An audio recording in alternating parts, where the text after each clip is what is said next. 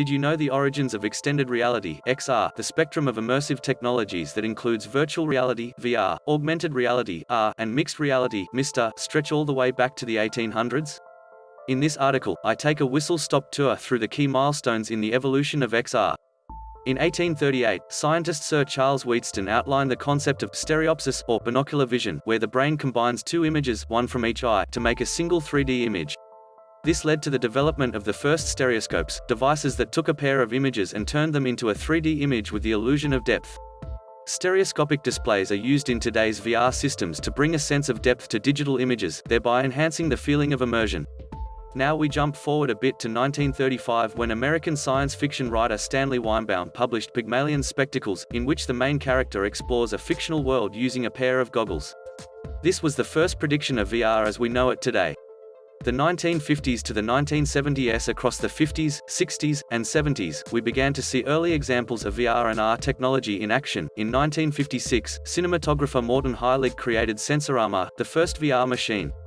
This movie booth combined 3D, color video, using the stereoscopic technology I've already mentioned, with audio, smells, and a vibrating chair to immerse the viewer in the movie. Heilig would go on to patent the first head-mounted display, combining stereoscopic 3D images with stereo sound, in 1960. Building on Heilig's idea, engineers from Philco created the Headsight headset in 1961. Designed for military use, this was the first VR headset with motion tracking technology.